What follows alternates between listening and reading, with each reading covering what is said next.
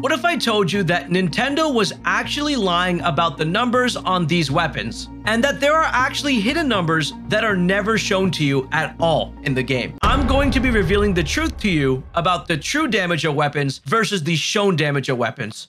There are three main melee weapon types in the game single-handed weapons like your swords and boomerangs, two-handed weapons like claymores, and spears which just look like spears. There is a basic formula for figuring out weapon damage that everyone uses. That's pretty obvious. Weapon plus additional damage plus modifier equals the total shown damage. Weapon being its base damage, additional damage is whatever you fuse to it, and the modifier is the plus 1 to plus 10 that you'll get on your weapon from an Octorok enhancement or from having higher EXP in the game, where the weapons that drop have modifiers on them, or you could be getting these off of the Ghost Soldier statues in the depths as well. So for example, let's say I had a pristine Knight Broadsword. Well, this is going to show up as 18 damage. If I add a Molduga Jawbone to it, that's going to be another 32 damage. And maybe I also Octorok this weapon so it has a plus 10 modifier. That would be 18 plus 32 plus 10, which would give me a total damage of 60. Pretty simple, right? If you have attack up 3, you're just going to multiply the total damage by 1.5. This can be either an attack up armor or an attack up 3 food. 60 times 1.5 is going to be 90, so you'd be dealing 90 per hit.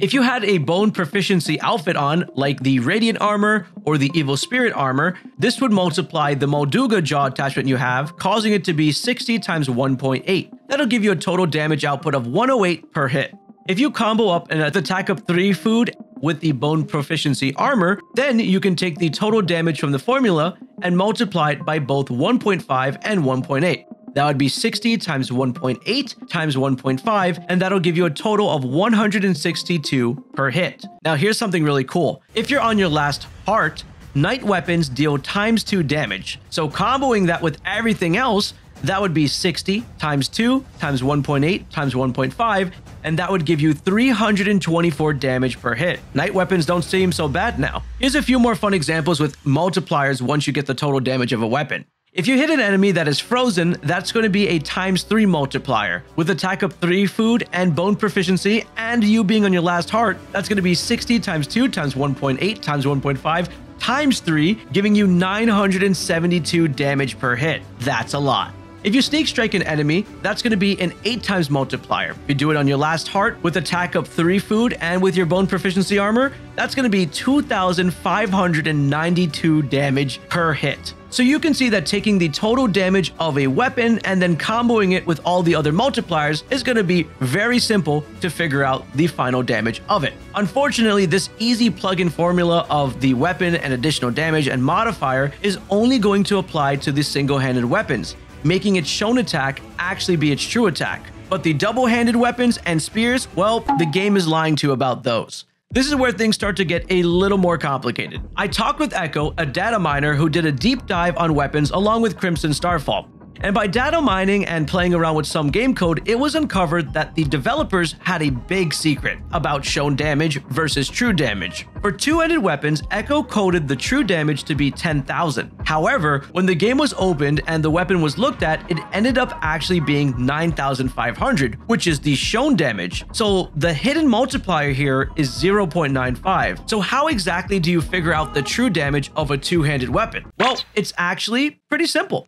Hey, real quick, if you're enjoying videos like this, make sure to hit that like button and subscribe. It lets me know you enjoy videos like this. So for a two-handed weapon, the formula is going to be called the True Weapon Base Attack, or abbreviated by TWBA. So for this formula, whatever the shown damage of your weapon is in the game, you're going to divide that by 0.95, then you're going to add 1 and then you're going to round down to a full number and get the true damage of that weapon. Let's do an example together. This is a pristine Royal Guard Claymore that shows an attack of 39. All we have to do is take 39 and divide that by 0.95 to get 41.05, and then add plus 1 to give us 42.05.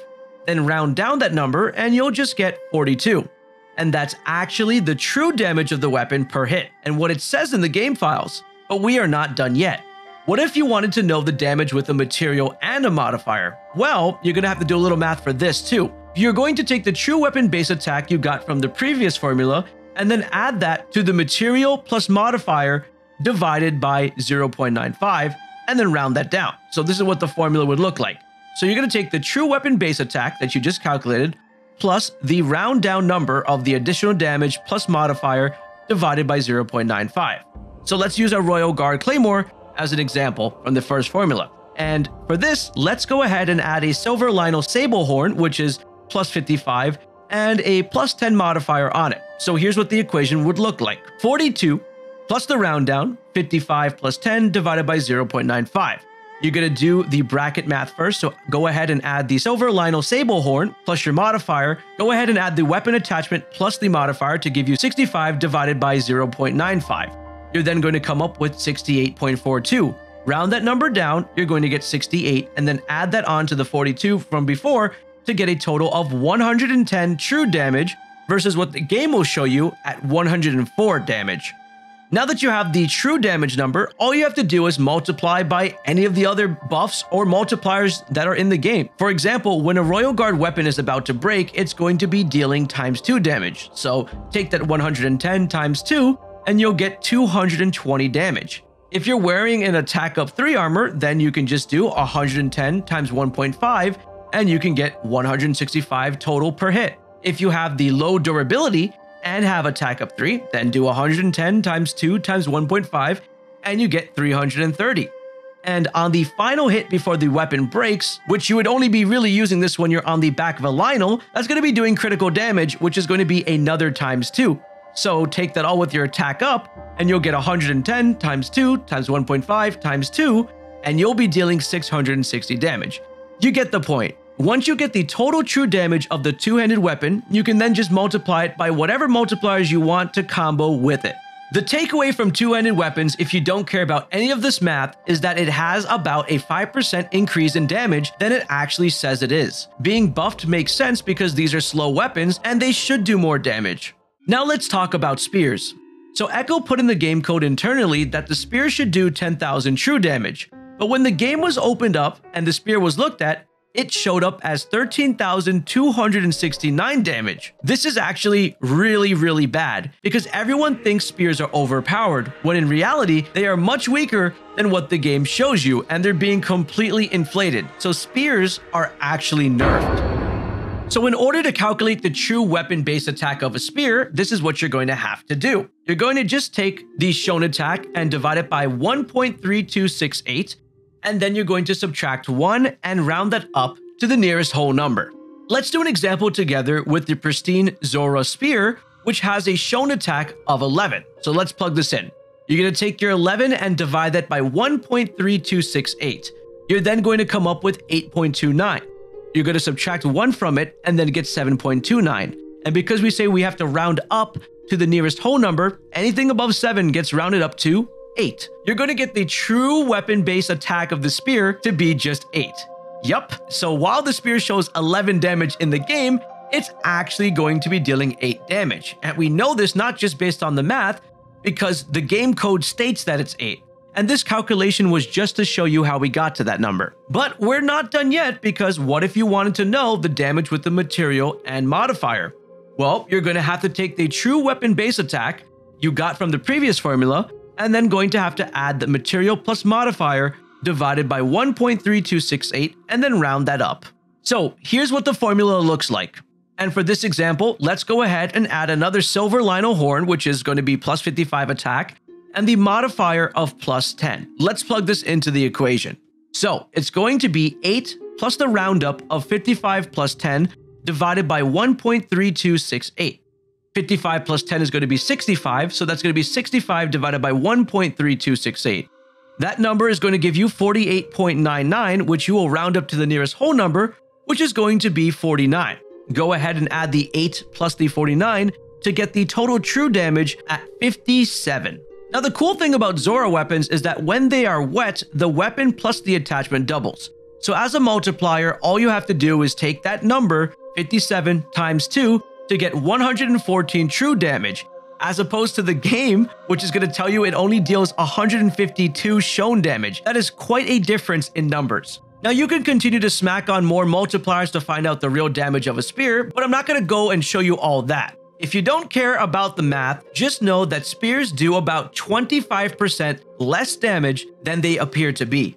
Okay, so I've linked this down in the description below, and what you want to do is whenever you open it after the videos, make sure to watch this part first, is cycle over to the weapon section over here. And when you cycle to the weapon section on this sheet, and, and I know you're saying, Philly, why did you wait till the end of the video? Well, it's because I wanted you to understand how we even got those numbers and the reasons behind it. You're going to see the base attack over here versus the shown attack over here. Shown attack is all the numbers that the game is going to provide. And you can control F or command F, depending if you have a Mac or PC, whatever weapon you want, and you'll find it on here. So you'll know the difference between shown and the base attack. So you don't even have to waste your time doing the calculations, but you'll know know exactly what you need to know about which one's going to be the best for base attack. Now, we're going to take this one up further and also shout out to the data miners for putting this all together. This is amazing. This one's going to be big. Now, what you need to do is because this is an only read file, you're going to have to take file and then make a copy for yourself. Otherwise, you can't plug in anything into this, right? So once you do that, you'll get your own sheet, right? Just like this. Now, for example, a lot of people say that the light scale trident with the Molduga jawbone with attack up and with the bone proficiency armor is going to be the best weapon in the game. Let's go ahead and see how powerful the light scale trident is. So I plugged this in and it's going to show me that the shown damage is 22, but with our math, we know the real damage is going to be 16. Now we're going to add the fuse material here. So just look for the fuse material. I'm going to type in Molduga.